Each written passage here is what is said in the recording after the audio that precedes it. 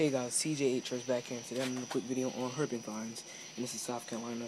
We caught a bunch of toads, we're gonna see how much we caught and show them to you. And we caught one baby leopard frog. Let's get one.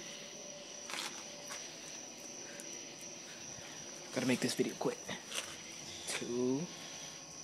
Blue-eyed, nice. Actually black. My client. Three.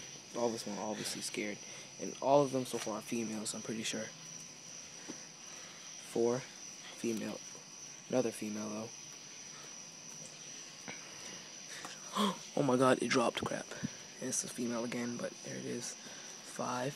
Oh my gosh. Six. Female, small. Six. And the last one is a leopard frog. If my wait, hold the bag. Don't drop it.